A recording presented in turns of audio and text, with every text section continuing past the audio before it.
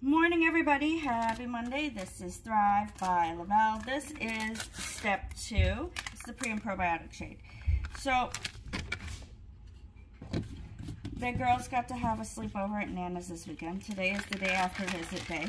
Unfortunately, um, Mommy didn't come yesterday.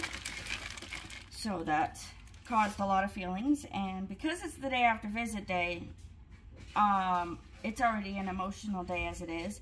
Add on top of that that mommy didn't come. And Lily vomited last night. It's, uh,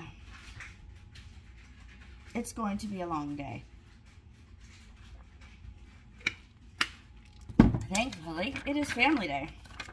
And with that, it really doesn't mean anything. It's a holiday they put in February because there wasn't one. So, Today's family day. Uh, do you have any plans for family day? We are going hiking and building Lego and um, have you ever heard of those little beads you put on the designs and then you melt it? Well, um, they all picked a design they wanted to do, so they'll each be doing that today too.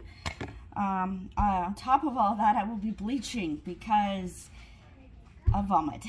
I hope you have an amazing family day, or if it's just a regular Monday, for you, I hope you have an amazing Monday. Stay fit, stay healthy, you got this.